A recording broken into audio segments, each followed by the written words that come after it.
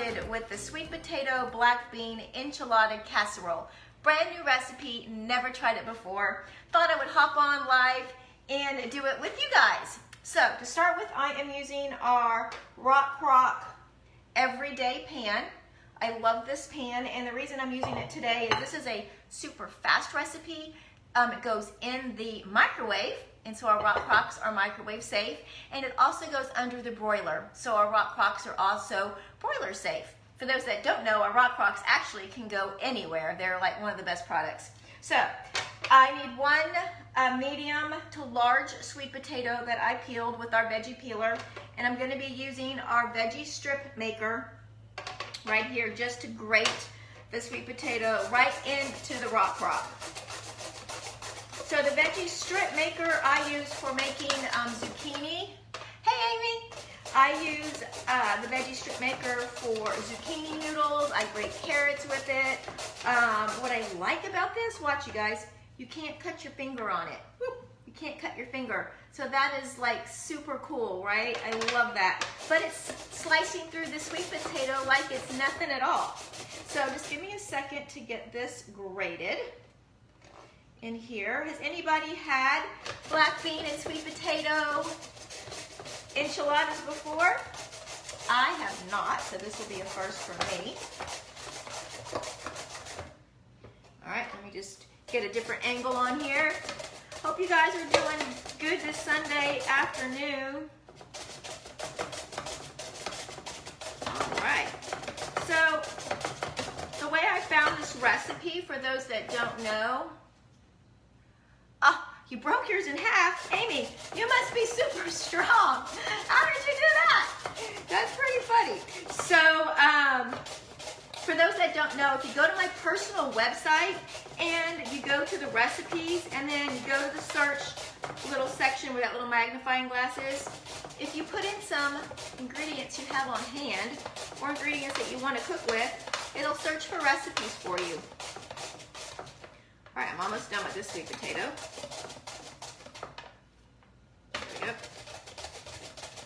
All right, I can see a few comments, but I'm way over here in my kitchen, and I can't read those from over there. Amy says, don't ask. Never had it, sounds yummy. Yes, it does sound yummy to me too. Never have it e had it either. All right, so let me get this in there. Oh, that's a lot of sweet potato.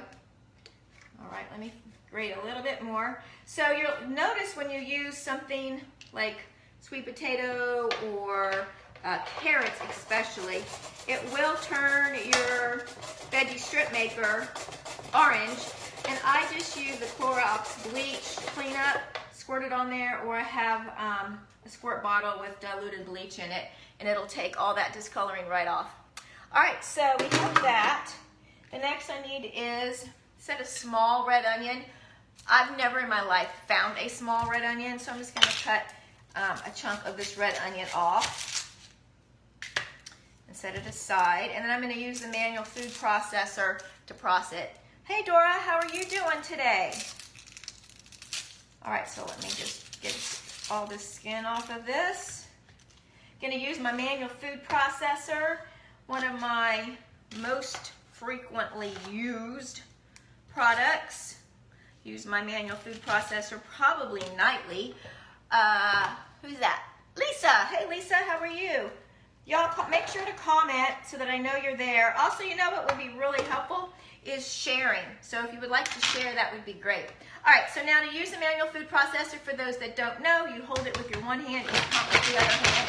And you just get it until you get it to the desired consistency. And let me take a peek. Oh, perfect. So let me show you how nice and small it got my red onion pieces. There we go. I don't need that again. Look. Can you all see in there? Look. Teeny tiny little pieces of red onion. Love that. All right. So I'm going to add the red onion to the sweet potato. And already, this is a very colorful dish. The purple and the orange together really looks pretty. Stir it up. Do I add anything to this? Nope, I'm going to do it uncovered in my microwave for three to four minutes. So let me just head on over to my microwave. Let me show you what it looks like inside there. Just grated sweet potato and red onion. I'm gonna put it in here for three minutes.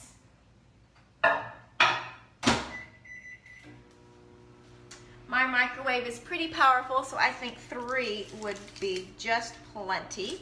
All right, so the next thing I gotta do to get ready is some drained black beans. So I've just got a can of black beans. I'm going to use our smooth edge can opener.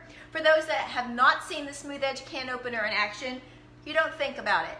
Don't try to line it up. You just put the can in front of you, butt it up to your can, twist, it'll attach. Hey Morgan, I am making sweet potato and black bean enchilada casserole. So I'm gonna go ahead and open this can of black beans and drain it into our uh, easy read colander. You do have to use the little birdie beaks on the side to get your lid up off. And then you're gonna notice that your lid is nice and smooth and your can is nice and smooth. So you cannot cut yourself, super safe. So I'm gonna grab the Easy Read colander right here and I'm just gonna drain this right into my sink. Um, can you see? Let me go down. It's gonna make a huge mess if I did it that way. Hey Wendy, how are you doing? So as you can see, let me get my water here and rinse these out. I love this easy read colander to drain things. What I also like about it is you can't really see, but it will sit on the edge of my sink. So I um, love that. I do have some beans left in my can, so I'm just gonna rinse those out. Hey Paige, how are you doing today? So I'm gonna let my beans go ahead and rinse on the side of my sink. The next thing I need to do is open the can of red enchilada sauce. So again, I'm gonna use my Easy Read can opener get that open. So I need one cup of enchilada sauce. So I'll probably have leftovers as this is a big can. I'm still doing online grocery shopping and when I order things, seriously, I don't pay attention to the sizes, I just order. So I get some weird sizes of things. So I need a cup, so I'm just gonna pour that in my, um, my, my uh, small batter bowl here until I have a cup. And I'm using the small batter bowl because I'm gonna show you. All right, so now with the smooth edge can opener, I can just put this lid back on and I can store that in the refrigerator and then use it again whenever I need it. So that's what I love about the smooth edge can opener. You can't do that with regular can openers. And also what I love about it is when you're getting things out of your can, you're not gonna have your scrapers all scratched up on the side because there's no sharp edges to cut it up. So love the smooth edge can opener. And also, you don't have any bacteria harboring on here. So that's my microwave done with the sweet potatoes, but I'm gonna go ahead and finish this real fast. Since this recipe is all vegetables and there's not much protein in it, hey Tracy, uh, watching all the way from South Africa, pretty cool. Hey, so since there's not um, any much protein in this recipe, um, according to the nutrition, the uh, recipe per serving, oh, it says it has 10 grams of protein.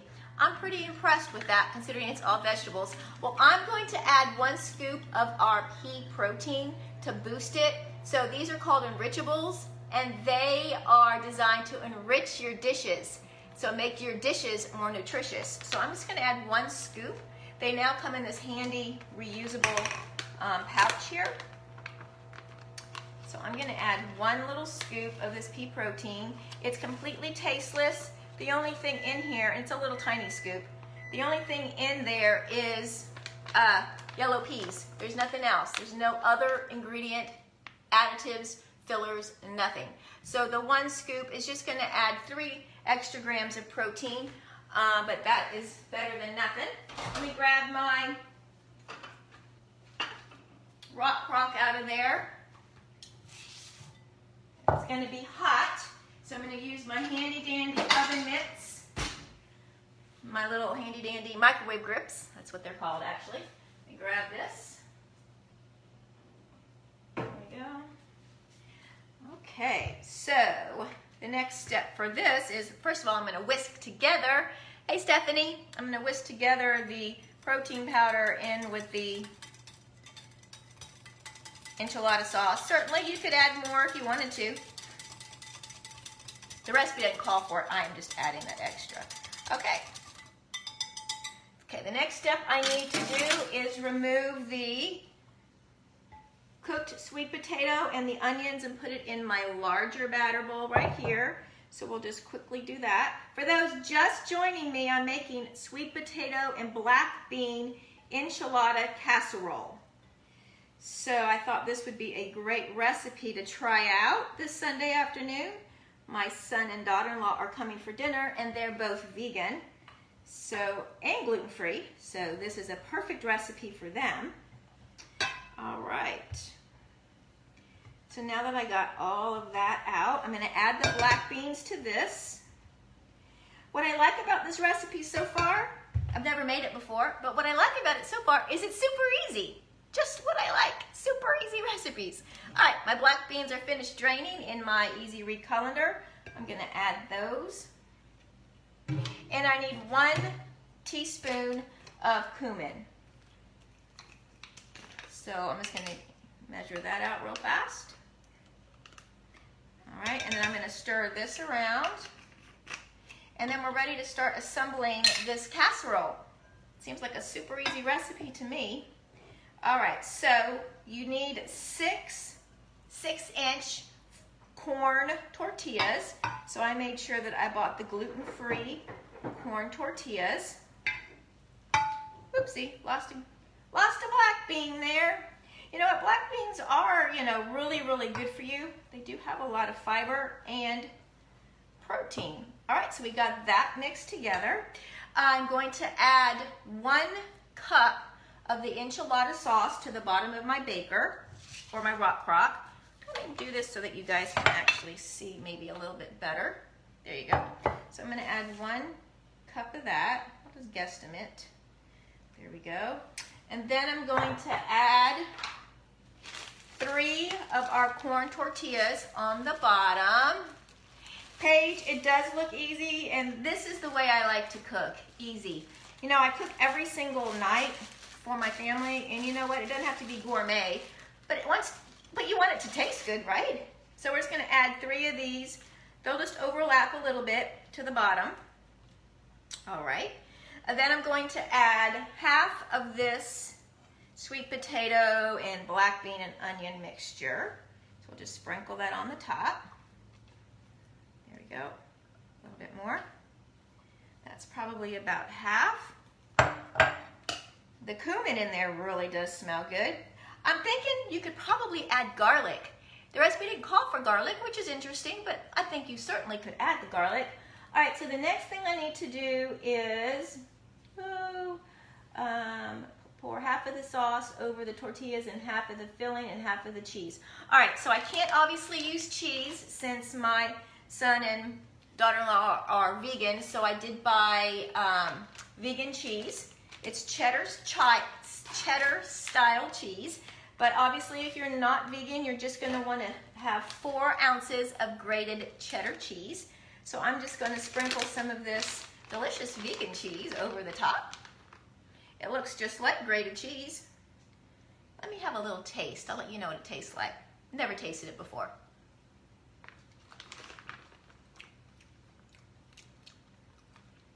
Tastes cheesy to me. We'll see how it melts. I have no idea. So we're just gonna sprinkle a little bit of this on top. Next, we're gonna add, add the filling, half of the cheese, repeat. All right, so I'm gonna add the rest of my enchilada sauce right over the top. Let me scrape it all out. And then I'm gonna add the rest of the sweet potato mixture on top of that. So just like layering a lasagna, we're just doing layers. All right, put that on top of there. This is smelling good, looking good. It's all healthy and stuff. all right. Next, we're gonna repeat with the three corn tortillas right over the top. I'll show you what it all looks like in just a second. And do I layer with the, do I layer with cheese? Yes, I layer with cheese. So more of our delicious vegan cheese on the top of this.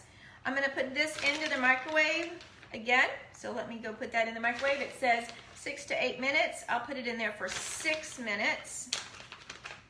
Right. So it's not hot anymore. Let me come over here, pop it in my microwave. And let that cook for six minutes. And that's the entire recipe. Isn't that easy? Oh, my brother Craig says that cheese is good. Well, I'm glad I got a good one. Uh, Daya, for those that are vegan and want some cheese. It did taste like cheese, actually. So the next, what happens is this is to cook. Oh, wait. It said to cook covered. Whoopsie. Pampered. Not perfect.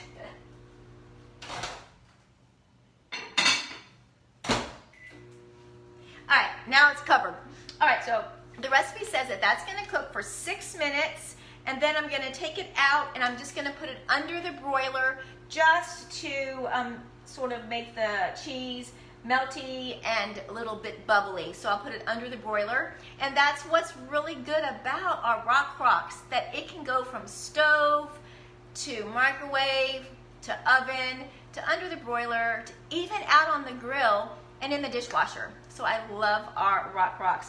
And then it says um, to serve, if you would like to serve it with some salsa, sour cream, Greek yogurt, diced avocados, and cilantro. So we're not gonna have it with the sour cream for obvious reasons, but I got some um, avocados that I'm going to dice up and some cilantro. So that sounds delicious to me. I can't wait to dive in. Um, once it's finished cooking and I've got it under the broiler, I'll come back to show you the finished product. A few moments later. I am back. So that was super fast dinner, was it not? I want to show you the finished product, but, well, let me show you and then I'll add the cilantro. So look how good that vegan cheese melted. Doesn't that look delicious? Oh my goodness, I'm so excited about this. So I am going to use my herb mill. Hey, Stephanie. And another Stephanie, two Stephanies. I'm gonna use my herb mill to put a little bit of the cilantro on the top of this. And then I'm gonna go ahead and plate me some. I've got some avocado that I already cut up for it. It looks delicious. So that's probably enough cilantro. I'm gonna just cut it like this. So for those just joining me, I made a sweet potato and black bean enchilada casserole. I've never made it before. It's a first time, but it sure looks good. Let me get my big scooper here. Let me scoop me out some. So uh, the Rockcrok cooked everything in the microwave and then I just finished up under the broiler. It's sweet potato, red onions, black beans, cumin, vegan cheese, and some corn tortillas. What do y'all think? It look good to you? It looks good to me. uh, Susan, I am going to, um, in the comments, I will put the recipe, but I did find it on my website, super easy. You can also serve this with uh, sour cream if you wish, or salsa. I'm just gonna try it just like this. I think it looks beautiful myself. This is um, whew, super hot. Hopefully I can get a bite of it without burning my, my face off. Mmm. It's absolutely delicious. Really, really good. I think that next time I will indeed add the garlic. Remember in my first video, I talked about how I think it would be good with some garlic. So I think definitely the next time I make this, and there will be a next time, I'm going to add the garlic. Thanks so much for watching, and I hope you guys have a wonderful Sunday. Bye.